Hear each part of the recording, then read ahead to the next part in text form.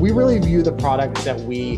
make as the things that you like kind of intimately interact with every day. So whether that's like the products you use in the bathroom or the fragrance that you spray on yourself or the candle that you light next to your bed or the underwear that you slip on, you know, every day. A lot of those moments can be throwaway moments, you know, especially the ones in the bathroom. And I think that we view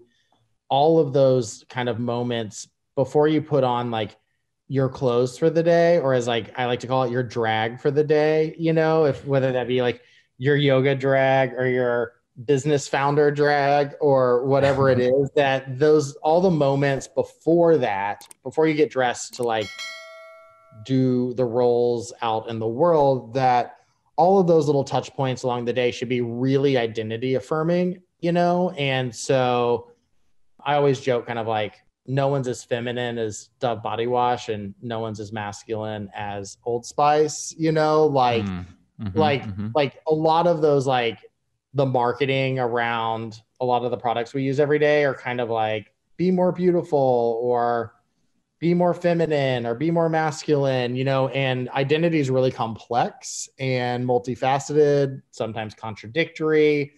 And I think we view a much more kind of like holistic view of identity and want to make sure that the products, the scents we make, are as complex as the identities of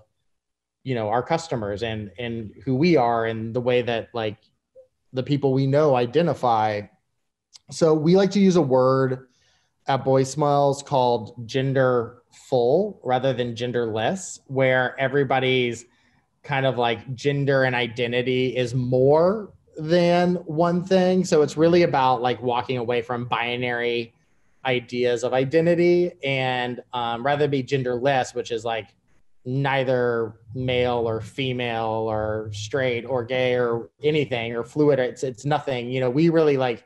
to view gender full as like we're all kind of like a bountiful source of like a identity spectrum and that the products that you use should bring fullness to your identity versus kind of like making you identity neutral. It's something we believe in like